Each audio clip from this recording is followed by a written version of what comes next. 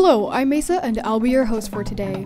Now, most of you are probably aware of the past trend known as the Roomba glitch, but I'm here to tell you that the Dragonets of this world have come up with something far worse than that. But before we can continue with what the newest generation of this world has come up with, we'll need to hear the weather.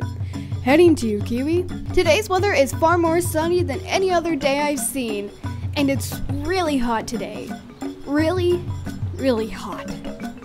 So make sure to drink lots of water for today whilst you have fun in this sun.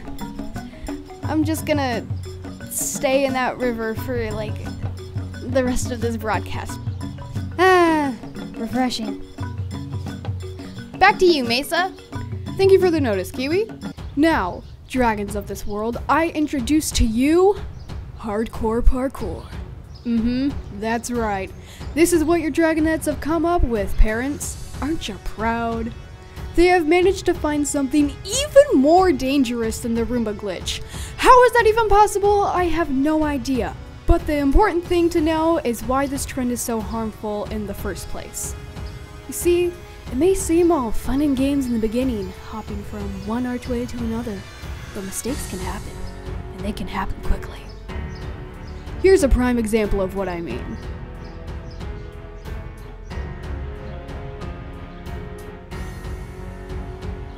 You see? Now thanks to this trend, that ice wing has died whoa, eh? whoa, and- Mesa, we can't claim the dragons have died when they haven't. But No, no, no, no. No buts. fine. This ice wing is seriously injured. What's not as dramatic as. Whatever. As this trend got more popular, Dragonets have started to take a new approach to it. The Silkwing isn't dead either, so don't worry. You see how much pain they were in?